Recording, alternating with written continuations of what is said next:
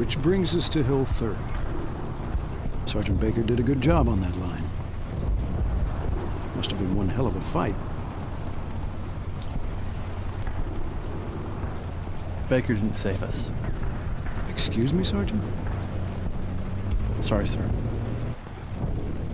What I mean is, I've been hearing a lot of talk around here that Baker saved us at Hill 30, bringing in the 2nd Armored Division and all. That's not what happened. I need armor support now! I mean right now!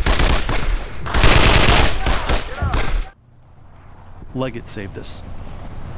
Just no one wants to talk about it. Why is that, Sergeant? Take me! He somehow managed to reach HQ on the radio. They sent the tanks. I can't confirm that. I thought Private Leggett's radio wasn't working. He couldn't receive, sir, but he was transmitting. And Sergeant Baker? He loved being in the thick of it. Every time I turned around in Normandy, he'd been knocked out by artillery or mortar or some damn thing.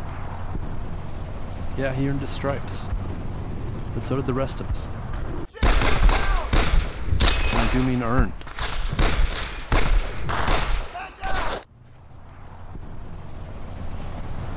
Baker got quite a scar. Is yours from that battle too?